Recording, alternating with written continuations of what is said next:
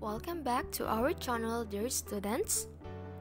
For the week 3 of the second quarter, the topic is all about algebraic expressions.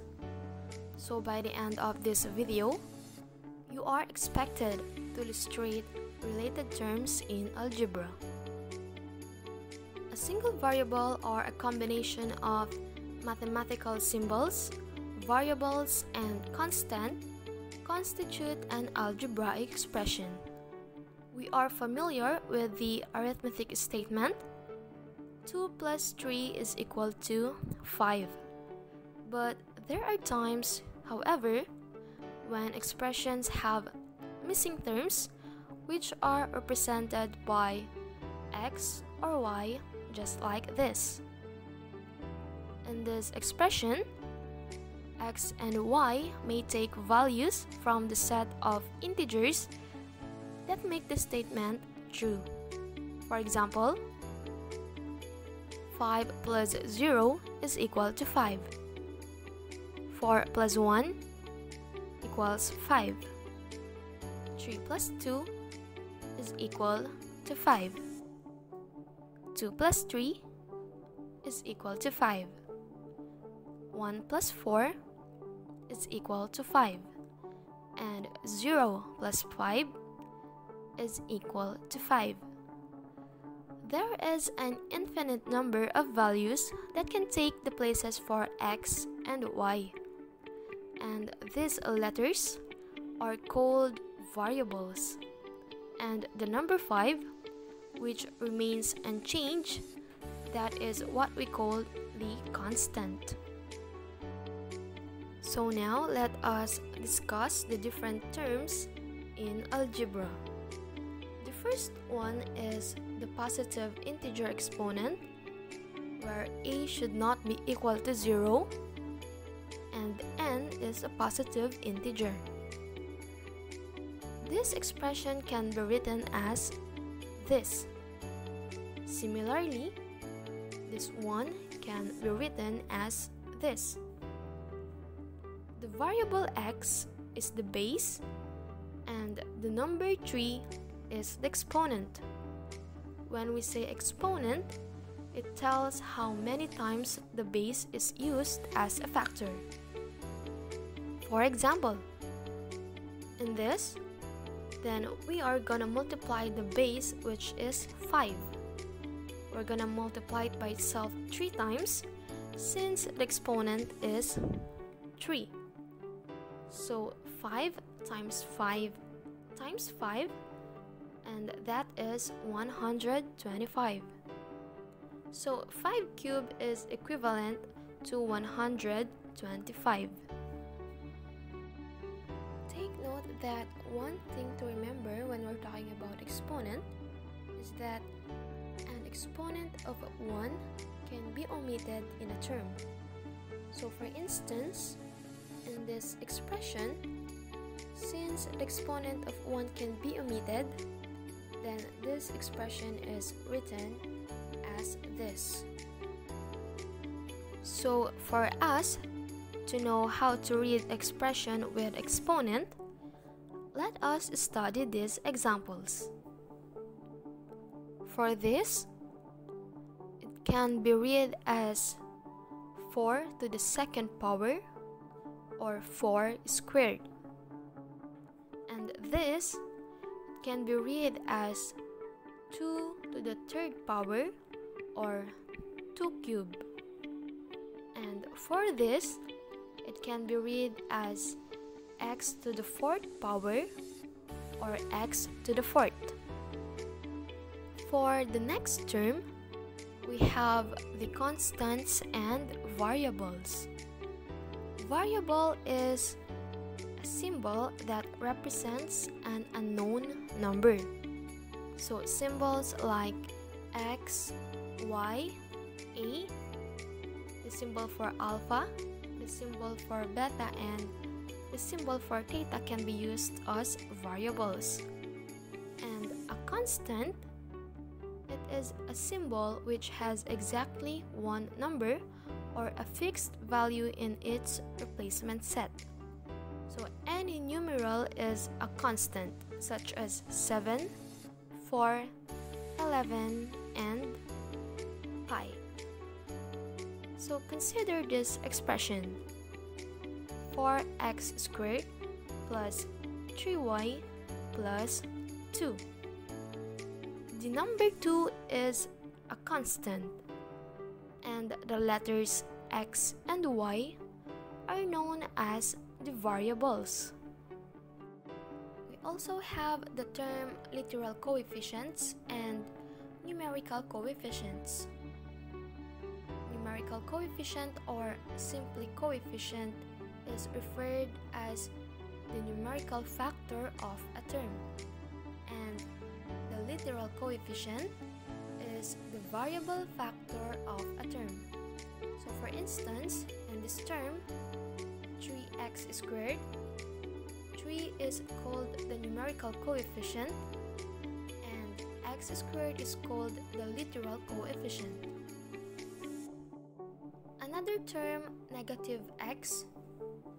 The term negative x has a numerical coefficient which is negative 1 and a literal coefficient which is x. And the term 5 is called the constant, which is usually referred to as the term without a variable or simply a constant term. Numerical coefficient is the number part of a term, while literal coefficient is the variable including its exponent. The word coefficient alone is referred to as the numerical coefficient. We also have algebraic expressions, terms, and polynomials. Algebra is a branch of mathematics which generalizes the facts of arithmetic. The result of combining symbols such as letters, numbers, punctuations, and operations of arithmetic is called an algebraic expression or simply an expression. Some examples of algebraic expressions are 2x, 7, negative 3y plus 4, and 4 multiplied by x, y, and z. A term is a constant or a variable or constants and variables multiplied together. For example, we have 4, xy, and 8 multiplied by y and z. And for the last, we have the number of terms, degree of the term, and the degree of the polynomial. Term is any algebraic expression separated from another algebraic expressions by a plus or a minus sign. In these expressions, there are four terms, namely 5x to the fourth power, 2x cubed y cubed, negative xy, and negative 7. While in these expressions, there are three terms. The degree of a term is the exponent of its variable while the degree of the polynomial is the highest degree appearing in any of the terms in that polynomial. For example, in the polynomial 3x to the fourth power plus x squared minus 9x plus 7, the degree of the terms are as follow.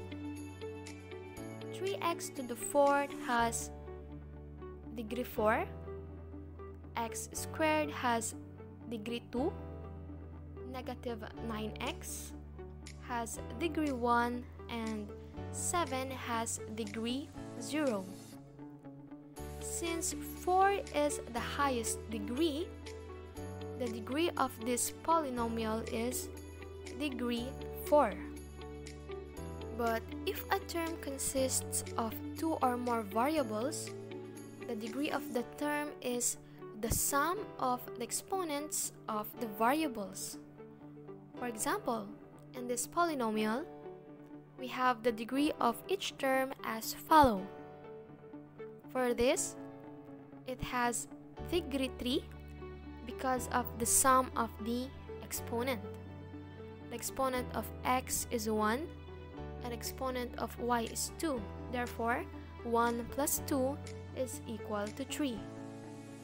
And for this, it has degree 6 because of the sum of the exponent. And for this, it has degree 4.